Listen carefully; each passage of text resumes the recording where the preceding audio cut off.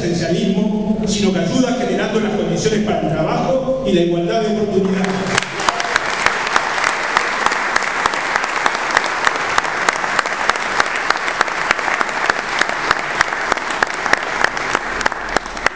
Pero el gran mérito de Valle fue al decir de Júdice y González su recordado Valle y el Vallismo, ir a la conquista de la libertad y la justicia integrales sin que su acción ponga en peligro el equilibrio sin desatar revoluciones ni amenazar con despojos violentos.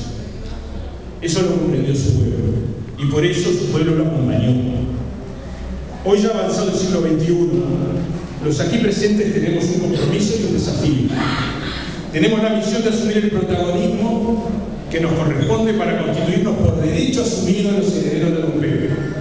Porque solo desde el Partido Colorado Unido se podrá volcar a la sociedad los más claros principios de justicia social, desarrollo colectivo, educación, bienestar educativo de la de este país.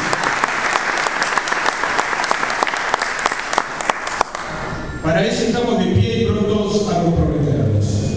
Para eso contamos con esa maravillosa juventud que en pocos días volverán a dar una lección de democracia e integración a la vida partidaria por medio de sus elecciones, para de esa forma volcarse de lleno al trabajo codo a codo con los mayores, al estilo del Partido Colorado, para discutir y resolver en igualdad de condiciones con todos. En esta sesión de la Convención Nacional del Partido Colorado, el día que se cumplen 83 años de la desaparición física de don José Ordóñez, no resisto la tentación de leer la declaración que la Convención emitió con motivo de su muerte, titulada Al País. Hoy sus conceptos están más vigentes que nunca.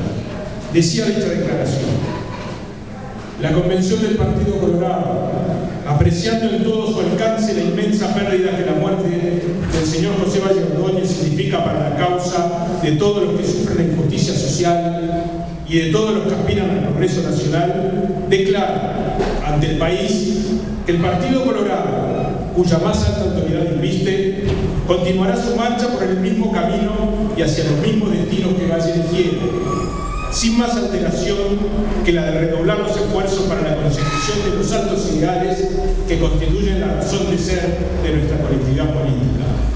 Todos los ciudadanos de buena intención tienen un puesto en nuestras filas. Aquellos que antes nos acompañaron queden para ratificar su actitud.